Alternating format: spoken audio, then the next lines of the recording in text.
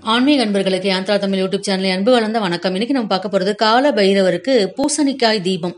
பூசணிக்காய் தீபம் நல்லா வந்து ஒரு இழுப்ப எண்ணெய் ஊற்றி இல்லைன்னா நல்ல எண்ணெய் ரெண்டும் கலந்து கூட நீங்க ஊற்றலாம் சிகப்பு திரி போட்டு நீங்க வந்து கால பைரவருக்கு விளக்கேற்றும் பொழுது நம்ம கஷ்டங்கள் எல்லாமே சனி தோஷம் ஏழரை சனி எப்பேற்பட்ட தோஷங்களும் நீக்கக்கூடியது.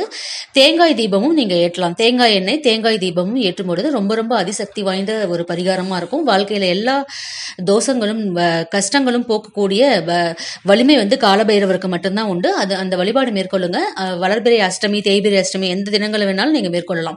அந்த மாதிரி பண்ணும்பொழுது நம்மளுக்கு வாழ்க்கையில எல்லா நலன்களும் கிடைக்கும்னு சொல்லுவாங்க. இது மாதிரி நிறைய விஷயங்கள் யாத்திரா தமிழ் சேனலுக்கு தொடர்ந்து பார்த்து சப்ஸ்கிரைப் பண்ணிக்கோங்க. மீண்டும் ஒரு நல்ல பதிவில் சந்திக்கிறேன். நன்றி வணக்கம்.